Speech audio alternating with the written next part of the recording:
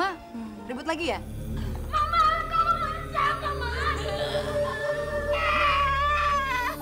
Kalau dulu lo pernah sentuh-sentuh gue karena gue pikir lo sayang dan perhatian sama gue. Lo bisa pakai putau. Apaan sih lo aja udah ngomong ngasih gue lagi ya?